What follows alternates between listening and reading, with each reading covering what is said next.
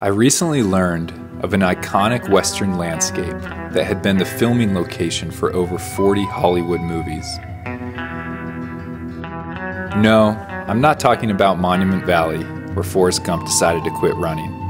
I'm talking about a lesser known area in eastern Utah, outside of the town of Moab. Although I had passed through this area before, I had little idea of the human story contained within these massive sandstone walls. As I studied some of the history of the area through old and new photographs alike, I knew I had to go and take a closer look for myself. What I found was more dramatic and compelling than I had imagined. The drive took me across an open and barren landscape. As I drew closer, the sandstone walls grew taller and the scenery became more spectacular. It was evident this area would not disappoint. All right, this is pretty cool, guys. So on the way in, there were a couple areas I wanted to check out for some rock art potentially. And right off the highway here, there's a big boulder with a ton of petroglyphs on it. So a few things catch my eye right off the bat. First is it seems like 1964 was a popular time to leave a little graffiti up here. The other thing that I find really intriguing are these animal looking figures with these large feet. The two walking on four legs I assume are bears. Those are cool. You don't always see bears depicted in rock art. But there's another sort of animal below them with the same big feet, but he's standing up on two legs. I had to think about that one a little bit. It could be another bear depiction. You know, bears stand up on their hind legs. Or it could be Bigfoot. I don't know. What do you guys think? On one of the sides of the boulder, we've got a person and some kind of an animal. Then a little below that, probably a whole lot older given the patina on it, there's some other figure with a line through it. The reality is so much of our modern day road system really just follows ancient pathways that people have been traveling for millennia in these areas. I looked around for more up here, but I didn't see anything else. So we'll keep moving, see if we can find some more cool stuff. From here on, the road followed the Colorado River closely. I found myself snaking through an ever deepening canyon. I felt dwarfed by the sheer scale of the sandstone walls that enclosed around me.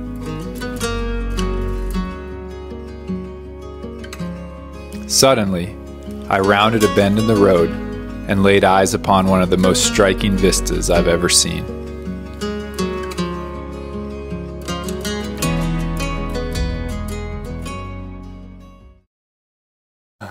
Oh man, wow.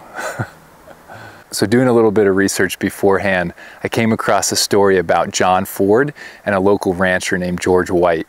Most of you are probably familiar with John Ford, but in case you're not, uh, he was a movie director throughout like the 40s, 50s, and 60s. He still holds the record for having won the most Oscars for Best Director. Anyways, the story goes is that in the 1940s, John Ford was looking for some new areas to film in. And so he came out here and somehow got connected with this local rancher. And this local rancher took him to this viewpoint and showed him this view of the Colorado River, the towering red rocks, and the La Sal Mountains in the back. And John Ford took one look at this and said, All right, this is where I'm filming my next movie. And it's not hard to understand why. I mean, there's not many places in the country, honestly, let alone probably the world, where you're going to get this kind of a unique view.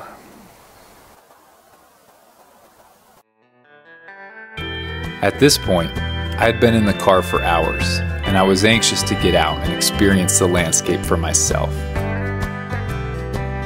I drove along the river until I emerged into a vast and stunning valley. Turning onto a dirt road, I continued until I reached a small trailhead.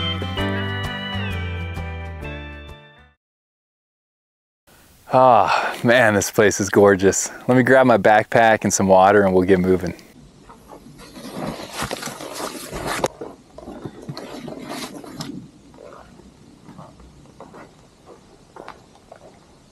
And this landscape is phenomenal.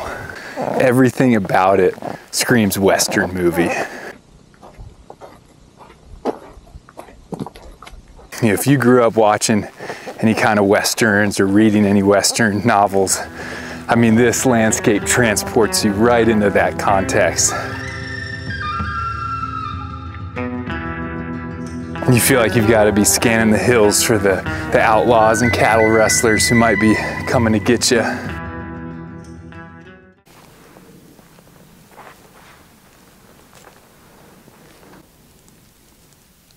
It's just stunning.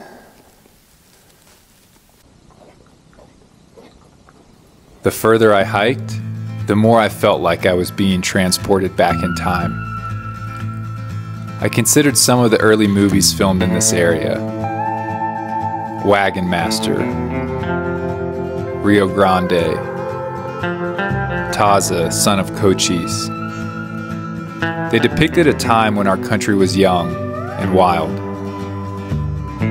It was a complex time in our history, one that resulted in prosperity for some, but containing tragic consequences for others. The story of humanity is never as simple or as sanitized as we want it to be. I pondered this reality as I walked and marveled over the fact that the landscape I was viewing remained relatively unchanged since the Spanish first rode into the Southwest or the Pilgrims landed at Plymouth.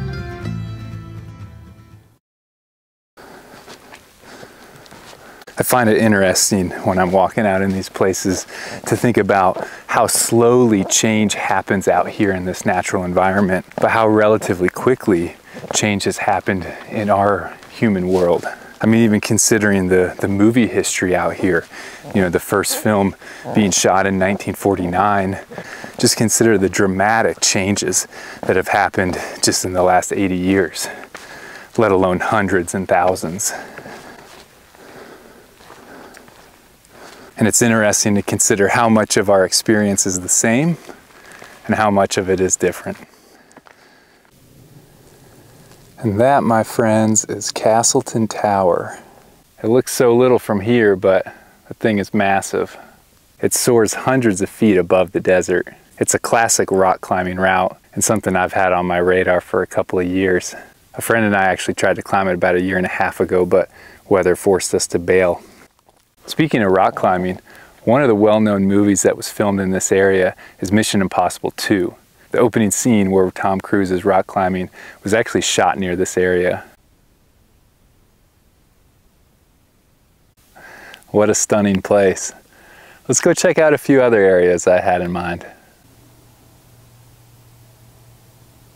So I'm here along the banks of the Colorado River the Colorado snakes its way out of the Rocky Mountains of Colorado and eventually ends up in the Gulf of California. This watershed is undoubtedly the most important of any in the American Southwest. Millions of people rely upon it for water and hydroelectric power. It's also heavily used for irrigation. 15% of the country's total farmland draws its water from its banks.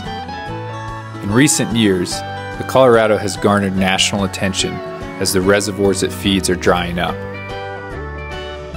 How exactly we will solve this problem remains to be seen.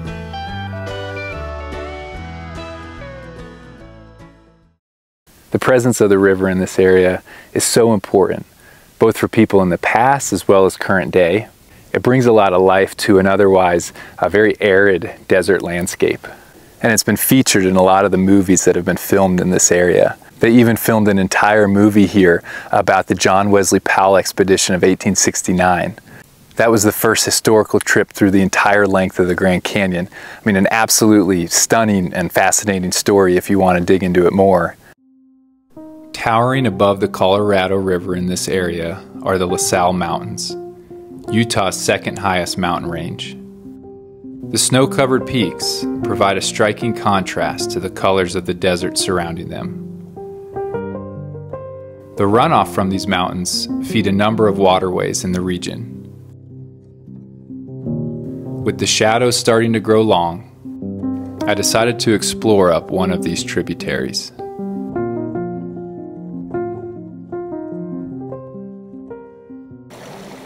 So there's a creek down here that I thought I'd hike up a ways.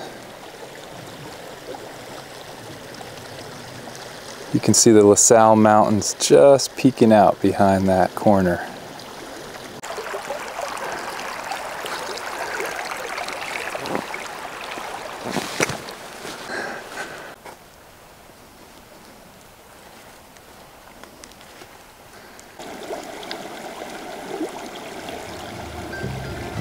As the day went on, I seemed to be caught up in this amphitheater of sandstone. I found myself at an ever increasing loss for words. The same landscape that had captured generations of Americans was now swallowing me up as well.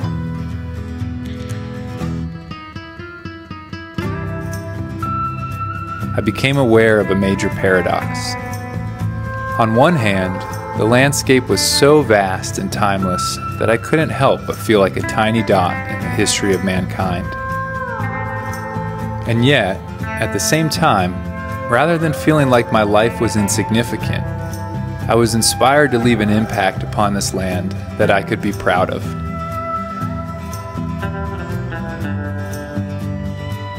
As sunset started to bathe the canyon walls, and another day slowly faded away, I felt a connection to the many people influenced by this region, and I hoped it would remain a place of inspiration and discovery for future generations.